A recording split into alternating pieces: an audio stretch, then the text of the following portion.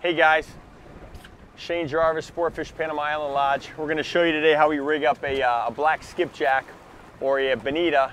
We use to troll for, uh, for black marlin, big tunas and stuff here in Panama. We start with the 12-0 Mustad Demon Perfect Circle Hook, okay?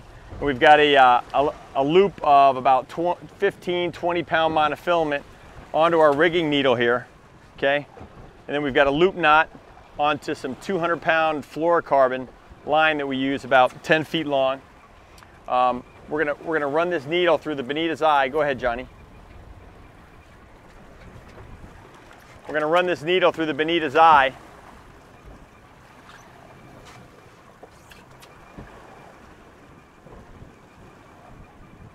Put that loop back through the, uh, the point of the hook.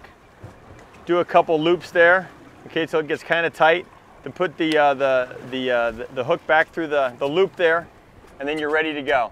It'll keep the hook head here in the front of the forehead of the bonita. He'll be able to um, swim freely